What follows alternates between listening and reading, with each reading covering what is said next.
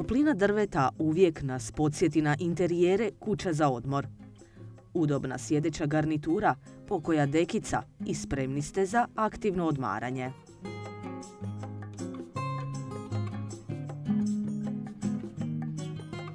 Za uređenje jednog takvog prostora idealan je drveni masivni namještaj u retro stilu koji tek detaljima odaje modernu izvedbu.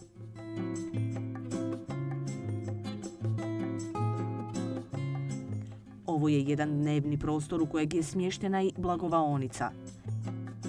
Sav je namještaj u istom stilu, a u kutu se našlo mjesta i za radni stol te klupicu. Priznajte, cijeloj priči nedostaje samo kamin.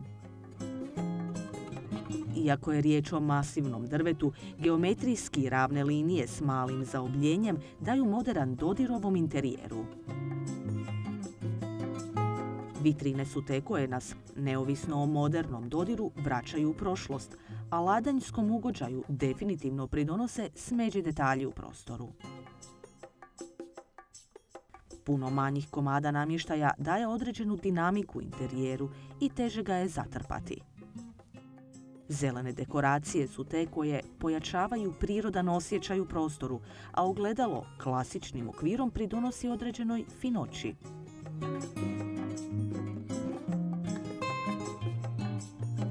U svakom slučaju, mi se možemo zamisliti kako odmaramo u ovakvom interijeru.